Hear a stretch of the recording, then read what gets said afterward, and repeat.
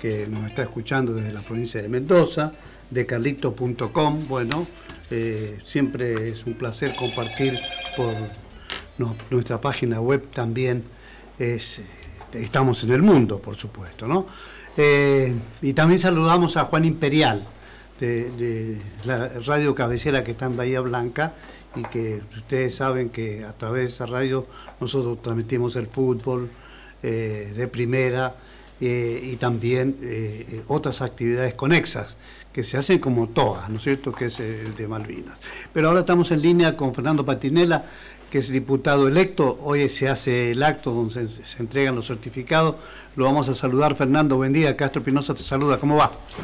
Carlos, buen día. ¿Cómo estás? Muy bien, muchas gracias. Creo que es importante eh, el acto de hoy porque es, digamos, el cierre de lo que fue toda una campaña y bueno, que les permitió en el caso de ustedes acceder eh, a una banca en la legislatura de la provincia de San Juan y que creo que no sé si me equivoco, el, 10 de, diciembre ya van a estar ocupando, o, tal vez antes, porque hay sesiones preparatorias, ¿no?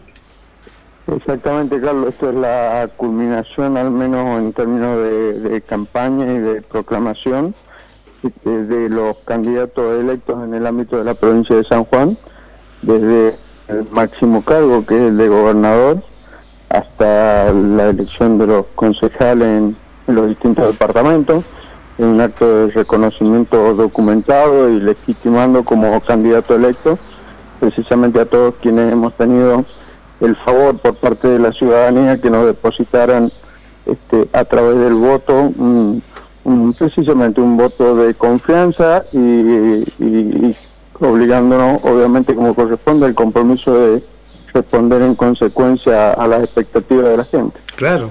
Claro, el compromiso y la responsabilidad consecuente. Que, que, importante, es un acto mm, no, protocolar en términos de lo que significa, pero ojo que ahí va implícita la, la tarea encomendada para cuatro años en vista totalmente, Carlos, es un acto sumamente importante este, y la gente tiene que empezar a cambiar y a exigir, en consecuencia de esa visión de que quienes asumen un cargo, un mandato político, empiezan un, periodo quizás de relax en términos de, actividad política y de gestión, este, porque lo que en realidad tiene que comenzar es el dar cumplimiento a tantas promesas realizadas a través de la campaña y que se tienen que dar a través de la gestión y, en esto el electorado tiene que ser un, un árbitro permanente, tiene que ser un tiene que ser espectador y parte a través de sus críticas objetivas, ¿no es cierto?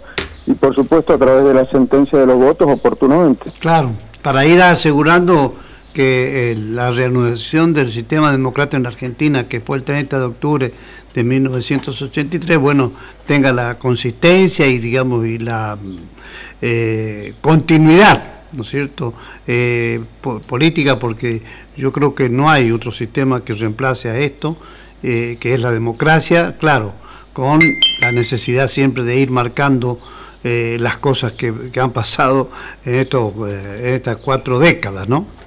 Por supuesto, si hay algo que ha sido sumamente caro al pueblo argentino fue perder la democracia a través de estos procesos dictatoriales, de hecho, el periodo de gobierno militar. Creo que eso tenemos que tener en claro que no, no es una opción, nunca más tiene que ser una opción, pero también en contrapartida, y yo en esto pongo énfasis, Carlos, mm. este, la ciudadanía no se tiene que desentender después de haber emitido un voto y que se hayan proclamado los candidatos.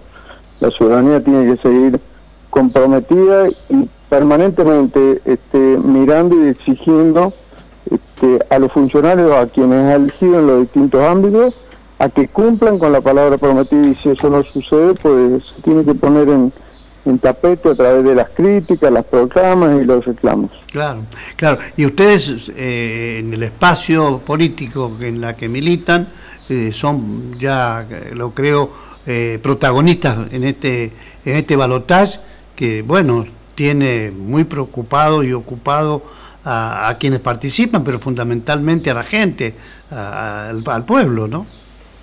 No, sin duda nosotros somos los nuevos protagonistas, Carlos, en esta en estas contiendas electorales. Sin duda que este año 2023 y parte del 2022 ha dado a luz un nuevo espacio político que ha venido a tomar este posicionamiento en uno de los polos que siempre han existido en, en la política, en esto de la polarización. Sin duda, sin duda que el espacio liberal hoy ha pasado a ocupar uno de esos polos. Este, y esto va más allá de los nombres, de quienes ser los candidatos o no. El espacio, la propuesta de gobierno de la mano del espacio liberal es, una propuesta muy, muy, muy nutrida, muy aceptable y que es muy afín al, al sentido y al querer como creo que nadie escapa una expectativa de, de un Estado mejor, un Estado ordenado, donde cada uno puede ejercer sus derechos y que el único límite sea el derecho del otro, este, de la mano del trabajo, del crecimiento y de la mano de asegurar que podamos forjar una mejor Argentina para las generaciones que vienen y no tengan que mirar, ¿no? Claro, claro. Bueno, la, la actividad de hoy entonces la reiteramos, a las 10 de la mañana. A las 10 de la mañana se va a formalizar por parte de las autoridades del Tribunal Electoral de la provincia se va a formalizar la entrega de certificados y diplomas correspondiente a cada uno de los cargos a que ha accedido los que oportunamente fuimos candidatos, desde el gobernador hasta la última de las concejalías. Claro, eso será en el centro de convenciones. Eso se hace en el centro de convenciones, en la avenida 25 de Mayo, entre Las Heras y España.